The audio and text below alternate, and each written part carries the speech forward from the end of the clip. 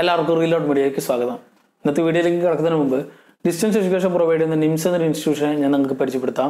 കേരളത്തിൽ തന്നെ വളരെ ചുരുങ്ങിയ നിരക്കിൽ എഡ്യൂക്കേഷൻ പ്രൊവൈഡ് ചെയ്യുന്ന നിംസിലൂടെ ആറ് മാസം കൊണ്ട് യു ജി പി ജി കോഴ്സുകളും ഒരു മാസം കൊണ്ട് S S L C plus two exams ഒക്കെ നിങ്ങൾക്ക് ക്ലിയർ ചെയ്യാവുന്നതാണ്. കേരളത്തിൽ മാത്രമല്ല കേരളത്തിൽ പുറത്തുള്ളവർക്ക് വേണ്ടിയിട്ടും ഫ്രീ ആയിട്ട് ഓൺലൈൻ ക്ലാസ്സുകൾ ഇവർ പ്രൊവൈഡ് ചെയ്യുന്നുണ്ട്. അപ്പോൾ കൂടുതൽ ഡീറ്റെയിൽസിനായിട്ട് ഈ കൊടുത്തിരിക്കുന്ന കോൺടാക്ട് നമ്പറിൽ നിങ്ങൾക്ക് ബന്ധപ്പെടാവുന്നതാണ്. ഇന്നത്തെ വീഡിയോയിലേക്ക് തിരികെ വന്നാൽ ഒക്ടോബർ ഒമ്പതാം തീയതി നെറ്റ്ഫ്ലിക്സിലൂടെ പുറത്തിറങ്ങിയ ഒരു പുതിയ ഏറ്റവും പുതിയ ഹൊറർ വെബ് സീരീസ് ആയ ഹോണ്ടിങ് ഓഫ് ബ്ലൈമിനറിന്റെ വിശേഷങ്ങളാണ് ഇന്നത്തെ വീഡിയോയിൽ. മൈക്ക് ഫ്ലാനകൻ ക്രിയേറ്റർ ആയിട്ട് വരുന്ന ഈ സീരീസ് ഇതിനു മുമ്പ് നെറ്റ്ഫ്ലിക്സിലൂടെ തന്നെ പുറത്തിറങ്ങിയ മൈക്ക് ഫ്ലാനകൻ ക്രിയേറ്റ് ചെയ്ത ദി ഹോണിംഗ് ഓഫ് ഹിൽഹോസിന്റെ ഒരു ഫോളോ അപ്പ് സീരീസും കൂടിയാണ്. ഇതൊരു ഡയറക്റ്റ് കണ്ടിന്യൂഷൻ അല്ല. അതുകൊണ്ട് തന്നെ ഒരു ആന്തോളജി മോഡലിൽ നമുക്കിത് പറയാം. ആയിരത്തി എണ്ണൂറ്റി തൊണ്ണൂറ്റെട്ടിൽ പുറത്തിറങ്ങിയ Henry ജെയിംസിന്റെ the turn of the key എന്ന നോവൽ ആസ്പദമാക്കിയിട്ടാണ് ഈ സീരീസ് ഒരുക്കിയിട്ടുള്ളത്. ബ്ലൈമൈനാറിൽ ജീവിക്കുന്ന തന്റെ ജ്യേഷ്ഠന്റെ രണ്ട് കുട്ടികളെ നോക്കാനായിട്ട് ഡാനിൽ എന്ന പെൺകുട്ടിയെ ഹെൻറി വിൻഗ്രേവ് എന്ന വ്യക്തി അപ്പോയിന്റ് ചെയ്യുന്നു. ഇതിനെ തുടർന്ന് ഡാനിയൽ ഈ വീട്ടിലേക്ക് പോകുന്നതും തുടർന്ന് നടക്കുന്ന കാര്യങ്ങളുമാണ് ഈ സീരീസിന്റെ പ്രധാന കഥ എന്ന് പറയാം. ഡാനിയലിനെയും ഈ കുട്ടികളെയും കൂടാതെ ബാക്കിയുള്ളത് അവിടെ ഒരു ഗാർഡനറും ഒരു കുക്കും ഒരു ഹൗസ് കീപ്പറും ഒക്കെയാണ്.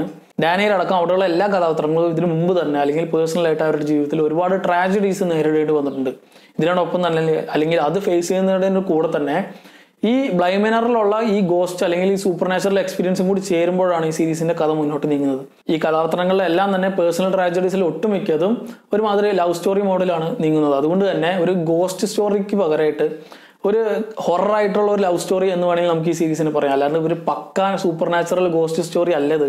അതുകൊണ്ട് തന്നെ ഡിഫറെന്റ് ആയിട്ടുള്ള ഒരു എക്സ്പീരിയൻസ് ആണ് അല്ലെങ്കിൽ ഡിഫറെന്റ് ആയിട്ടുള്ള ട്രീറ്റ്മെന്റ് ആണ് മൈക്ക് ഫ്ലാനഗൻ പരീക്ഷിച്ചിട്ടുള്ളത്. അതിൽ നൂറ് ശതമാനം അയാൾ വിജയിച്ചിട്ടുണ്ട് എന്ന് വേണമെങ്കിൽ പറയാം. ഒരു ഗംഭീര സ്ക്രീൻ പ്ലേ ആണ് സീരീസിനുള്ളത് ഓരോ സീൻസും അല്ലെങ്കിൽ ഓരോ എപ്പിസോഡും എന്നല്ല ഓരോ സീൻ ബൈ സീൻ വളരെ നീറ്റായിട്ടാണ് ഇത് എഴുതിയിട്ടുള്ളത്. അതുകൊണ്ട് തന്നെ കാണുമ്പോൾ നമുക്ക് വ്യക്തമായിട്ട് മനസ്സിലാവും.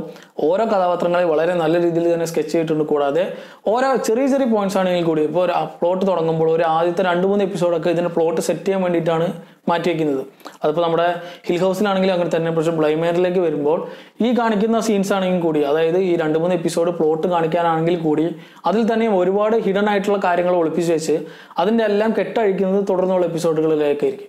അതുകൊണ്ട് തന്നെ ഓരോ സീൻസ് തുടക്കം മുതൽ അവസാനം വരെ ഒരു സീൻ പോലും നമുക്ക് അനാവശ്യമായിട്ട് കാണിക്കാൻ ഇവർ ശ്രമിക്കുന്നില്ല. അതുകൊണ്ട് തന്നെ ഒട്ടും ലാഗില്ലാത്ത അതിഗംഭീര സീരീസ് തന്നെയാണ് ഇതെന്ന് പറയാം. കൂടാതെ ഹിൽ ഹൗസിൽ കണ്ട പോലത്തെ ഒരുപാട് നോൺ ലീനിയർ ആയിട്ടുള്ള നറേഷൻ ടെക്നിക്കും ഇതിൽ ഉപയോഗിച്ചിട്ടുണ്ട്. പക്ഷെ അതിൽ നിന്ന് വ്യത്യസ്തമായിട്ട് അതിലാണെങ്കിൽ ഇപ്പോൾ പാസ്റ്റ് കാണിക്കും പ്രസന്റ് കാണിക്കും അങ്ങനെയായിരുന്നു. ഇതിൽ അങ്ങനെയല്ല. പാസ്റ്റിൽ തന്നെ ഒരുപാട് നോൺ ലീനിയർ ആയിട്ട് പോകുന്നുണ്ട്. വളരെയധികം കൺഫ്യൂസ് ആവാനും സാധ്യതയുണ്ട്.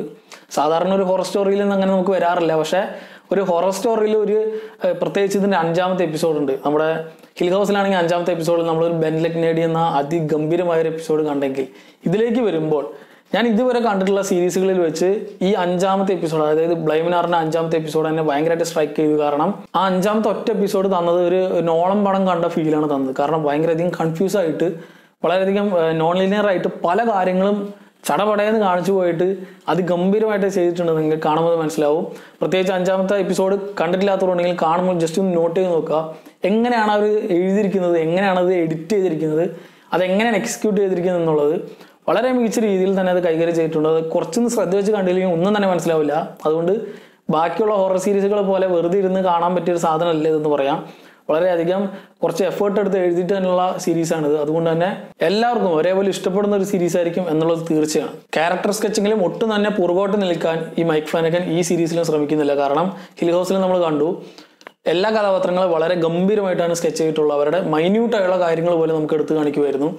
അതേപോലെ തന്നെയാണ് ഈ ബ്ലൈ മൈനറിൽ എന്ന് പറയാം. അതുകൊണ്ട് തന്നെ എല്ലാ കഥാപാത്രങ്ങളും നമുക്ക് നീറ്റായിട്ട് അവരുടെ തുടക്കം മുതൽ അവസാനം വരെയുള്ള അവരുടെ ഒരു മനസ്സിൽ എന്താണ് ചിന്തിക്കുന്നത് അടക്കം നമുക്ക് കാണിച്ചു തരുന്നുണ്ട്.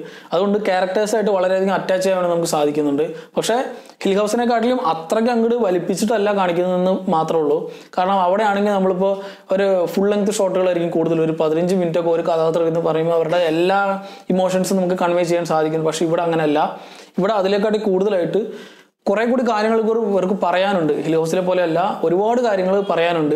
ഒരുപാട് ബ്രോഡാണ് ഈ ബ്ലൈമിനറിന്റെ ഒരു പ്ലോട്ട് എന്ന് പറയാം. അതുകൊണ്ട് തന്നെ പക്ഷെ അതെല്ലാം തന്നെ ഈ ചുരിയ സമയം കൊണ്ട് വളരെ നീറ്റായിട്ട് ഇവർ എക്സിക്യൂട്ട് ചെയ്തിട്ടുണ്ട്. പ്രത്യേകിച്ച് ഇപ്പോൾ ഗോസ്റ്റ് ആണെങ്കിൽ ഒരു എപ്പിസോഡ് മുഴുവനായിട്ട് ഈ ഗോസ്റ്റിന്റെ ഫ്ലാഷ് ബാക്ക് എങ്ങനെയാണ് അല്ലെങ്കിൽ എന്തുകൊണ്ടാണ് അത് എന്ന് പറയുന്ന ഒരു വളരെ നീറ്റായിട്ട് എക്സിക്യൂട്ട് ചെയ്തിട്ടുണ്ട്. പ്രത്യേകിച്ച് നമ്മളിപ്പോൾ പറയും പണ്ടൊക്കെ ആണെങ്കിൽ വെള്ള സാരി എടുത്ത് വരുന്ന പ്രേതം നമ്മൾ വെറുതെ കളിയാക്കും. ഇപ്പോൾ ഇംഗ്ലീഷിലാണെങ്കിൽ വെള്ള ഗൗൺ എടുത്ത് വരുന്ന പ്രേതം. ഈ വെള്ള ഗൗൺ ഉടുത്തു വരാൻ പ്രേതത്തിന് ഒരു ആ അല്ലെങ്കിൽ ഇവിടെ ഒരു പ്രത്യേകതരം കാരണമുണ്ട്. അത് എന്തുകൊണ്ടാണെന്ന് കാണിക്കുന്നുമുണ്ട്. അതുകൊണ്ട് വ്യക്തമായ കാര്യകാരണങ്ങൾ എല്ലാം തന്നെ വളരെ നീറ്റായിട്ട് കോസ്റ്റ്യൂമിനടക്കം എന്തുകൊണ്ട് അങ്ങനെ വന്നു എന്നുള്ളത് കാണിച്ചുകൊണ്ടാണ് ഈ സീരീസ് സഞ്ചരിക്കുന്നത്. അതുകൊണ്ടാണ് ഞാൻ പറഞ്ഞത്. വളരെ നീറ്റായിട്ട് വളരെ ബ്രില്യന്റ് ആയിട്ട് എഴുതിയൊരു ഷോ ആണ് ഇതെന്നുള്ളത്. ഹിൽഹേഴ്സിനെ വെച്ച് കമ്പയർ ചെയ്യുമ്പോൾ കുറച്ചും കൂടി ജംസ് കേസ് ഒക്കെ കൂടുതലാണ് ഈ ബ്ലൈമിനറിൽ എന്ന് പറയും. പക്ഷേ എല്ലാം തന്നെ വളരെ ഇഫക്റ്റീവ് ആയിരുന്നു. നമ്മൾ പ്രതീക്ഷിക്കാത്ത രീതിയിലുള്ളതാണ്. കൂടാതെ നമ്മൾ സ്ഥിരമായിട്ട് കണ്ടുവരുന്ന ഗോസ്റ്റ് സ്റ്റോറീസിനകത്ത് ഇപ്പോൾ സീരീസ് ആണെങ്കിലും സിനിമകളാണെങ്കിലും ഒരു പ്രോട്ടോകോൾ ഉണ്ടാവില്ല? ഇപ്പോൾ കൊമേഴ്ഷ്യൽ സിനിമകളുടെ അടുത്താൽ തന്നെ ഒരു ഒരു ഫൈറ്റ് വേണം ഒരു ആക്ഷൻ വേണം അല്ലെങ്കിൽ ഒരു ഒരു ഡാൻസ് വേണം ഒരു ഐറ്റം സോങ് വേണം എന്ന് പറയുന്ന പോലെ തന്നെ ഗോസ്റ്റിന്റെ കാര്യങ്ങൾ എടുത്താൽ നമ്മൾ സ്ഥിരം കാണുന്ന കാര്യങ്ങളൊക്കെ മാറ്റി മറിച്ചിട്ടാണ് ഈ സീരീസ് ഒരുക്കിയിട്ടുള്ളത്. അതായത് ഇപ്പോൾ സ്ഥിരം നമ്മൾ ഹൊറർ സിനിമകളിലൊക്കെ കാണുന്ന സ്ഥിരം കാഴ്ചകളായിരിക്കും ഇപ്പോൾ പട്ടി വരയ്ക്കുന്നത് മൂങ്ങയുടെ ശബ്ദം രാത്രി നൈറ്റ് ഷോട്ടുകൾ നൈറ്റ് ഷോട്ടുകളായിരിക്കും എന്നാലും കൂടി സ്മോക്ക് അടിക്കുക നിന്നാ പ്രേതം തിരിഞ്ഞ പ്രേതം കണ്ണാടിയിൽ പ്രേതം കട്ടിലിനടി പ്രേതം ബാത്റൂമിൽ പ്രേതം എവിടെയായാലും പ്രേതം തന്നെ. ഇതിൽ അങ്ങനെയൊന്നല്ല ഇത്തരം ക്ലീശ സാധനങ്ങളെ പൂർണമായി ഒഴിവാക്കിയിട്ടാണ് മൈക്ക് ഫ്ലൈനൊക്കെ ഈ സീരീസ് ഒരുക്കിയിട്ടുള്ളത്. ഇതൊന്നും ഇല്ലാതെ എങ്ങനെ പ്രേതത്തെ കാണിക്കുന്നതായിരിക്കും നമ്മൾ ചിന്തിക്കുന്നത് പക്ഷേ ഇതൊന്നും ഇല്ലാതെ തന്നെ വളരെ നീറ്റായിട്ട് വളരെ സൈലന്റ് ആയിട്ട് സ്ലോ ആയിട്ടും കൂടി നമ്മളെ ഹോൺ ചെയ്യുന്ന ഒരു ആ ഒരു എക്സ്പീരിയൻസ് കൊണ്ടുവരാൻ സാധിക്കുമെന്നുള്ളത് എടുത്തു കാണിച്ചുകൊണ്ട് അല്ലെങ്കിൽ ഭാവിയിലുള്ള ആൾക്കാർക്ക് ഒരു റെഫറൻസ് കൂടിയാണ് ഇതെന്ന് പറയാം. ഇത്തരത്തിലുള്ള പുതിയ കാര്യങ്ങൾ കൊണ്ട് തന്നെയാണ് എനിക്ക് ഈ സീരീസ് ഭയങ്കരമായിട്ട് ഇഷ്ടമായത്. കാരണം നമ്മൾ സ്ഥിരം കാണുന്ന എല്ലാ കാര്യങ്ങളെയും മാറ്റിമറിച്ച് അതിൽ നിന്ന് പുതിയ പരീക്ഷണങ്ങളെല്ലാം കൊണ്ടുവന്ന് അത് പരീക്ഷണങ്ങളിൽ നൂറ് ശതമാനം വിജയിക്കും കൂടി ചെയ്തതോടെ one of the best horror story ആയിട്ട് അല്ലെങ്കിൽ ഹൊറർ സീരീസ് ആയിട്ട് ഞാൻ ഇതിനെ കണക്കാക്കും. ഗംഭീരമായിരുന്നു ഹിൽ ഹൗസ്. അതേപോലെ തന്നെ അതിഗംഭീരം തന്നെയാണ് ബ്ലൈമൈനറും പക്ഷേ രണ്ടുമായിട്ട് കമ്പയർ ചെയ്യാൻ പറ്റില്ല. ചിലപ്പോൾ ചില സിമിലാരിറ്റീസ് ഒക്കെ തോന്നുന്നുണ്ടെങ്കിലും രണ്ടും ഡിഫറെന്റ് ആണ്. വളരെയധികം യൂണീക്ക് ആണ് രണ്ടും എന്ന് പറയേണ്ടി വരും. റിട്ടേണിംഗ് കാസ്റ്റ് ആയിട്ട് ഒരുപാട് പേർ വരുന്നുണ്ട് ഈ സീരീസിലും അതായത് നമ്മൾ ഹിൽ ഹൗസിൽ കണ്ട ഒരുപാട് പേർ ഇതിലേക്കും വരുന്നുണ്ട്. പക്ഷെ അവരുടെ കഥാപാത്രങ്ങളെല്ലാം വ്യത്യസ്തമാണ്. അതിൽ നിന്ന് തികച്ചും വ്യത്യസ്തമാണ്. ആകെ മൊത്തം ഒമ്പത് എപ്പിസോഡുകളാണ് ഈ സീരീസിലുള്ളത് എല്ലാ എപ്പിസോഡുകളും നെറ്റ്ഫ്ലിക്സിൽ ലഭ്യമാണ്. നെറ്റ്ഫ്ലിക്സ് ഇല്ലാത്തവർക്കായിട്ട് നമ്മുടെ ടെലിഗ്രാം ചാനലിൽ നമ്മൾ എല്ലാ എപ്പിസോഡും ഇടാം. അപ്പോൾ കണ്ടില്ലാത്തവർ തീർച്ചയായും കണ്ടു നോക്കുക പ്രത്യേകിച്ച് ഹൊറർ സ്റ്റോറീസ് ഇഷ്ടമുള്ളവർക്ക് പുതിയ എക്സ്പീരിയൻസ് വേണമെന്നുള്ളവർക്ക് തീർച്ചയായും നിങ്ങൾക്ക് തിരഞ്ഞെടുക്കാം. ആരെയും തന്നെ നിരാശപ്പെടുത്തില്ല എന്ന് ഞാൻ നൂറ് ശതമാനം ഉറപ്പ് തരാം.